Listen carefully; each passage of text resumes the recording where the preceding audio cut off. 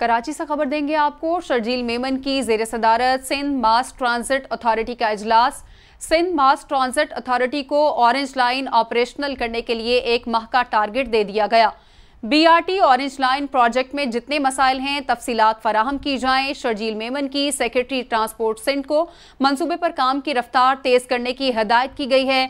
वफाकी वज़ीर मनसूबाबंदी एहसन इकबाल से खुद बात करूँगा। उनकी जानब से कहा गया, ऑरेंज लाइन को एक माह के में ऑपरेशनल करना है। सूबाई वज़ीर को मास ट्रांजिट अथॉरिटी और मास ट्रांजिट के मनसूबों पर तफसीली ब्रीफिंग दी गई है। बात करने के लिए हमें ज्वाइन किया है नुमाइंदा कैपिटल टीवी अक्रम बलोच ने। जी अक्रम।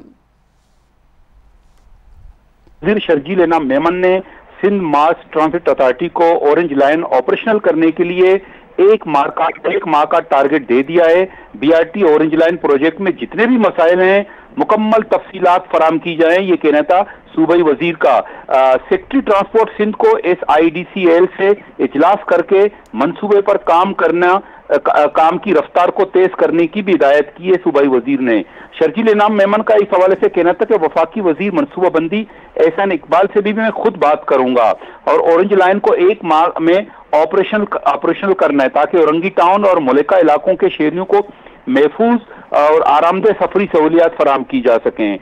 सूबाई वज़ीर इतलात व ट्रांसपोर्ट शर्जील मेमन की सदारत मास ट्रांसपोर्ट अथॉरिटी का इजलास इजलास में secretary transport Sindh Abdul Aleem Sheikh M D Sindh mass transport authority और दीगर अफसरान शरीक रहे। सूबाई वज़ीर को मास ट्रांसपोर्ट अथॉरिटी और मास ट्रांसपोर्ट के मनसूबों पर तफसीली ब्रीफिंग दी गई। Karachi circular railway blue line brown line और शहर के बी आर टी पर briefing green line phase one नुमाइश तक ऑपरेशनल है। Yellow orange red lines implementation phase में है। ब्रीफिंग में बताया गया। जबकि ब्रीफिंग में मजीद बताया गया कि ग्रीन लाइन वफाकी हुकूमत का प्रोजेक्ट है। तीन साल बाद सिंध हुकूमत के हवाले कर दिया जाएगा। ब्रीफिंग में मजीद बताया गया कि औरंगी टाउन से बोर्ड ऑफ़िस तक ऑरेंज लाइन के मंसूबे का अट्ठानवे फ़ीसद सिविल वर्क मुकम्मल किया जा चुका है। ऑरेंज लाइन मुकम्मल तौर पर सिंध हुकूमत का प्रोजेक्ट है, जो कि S I D C L के तहत तामीर किया जा रहा है। सिंध हुकूमत ने ऑरेंज लाइन की 20 बसों की खरीदारी के लिए S I D C L को रकम की अदायगी कर दी गई है। ये ब्रीफिंग में वज़ीर इतलात को तफसीलात बताया गया। जी।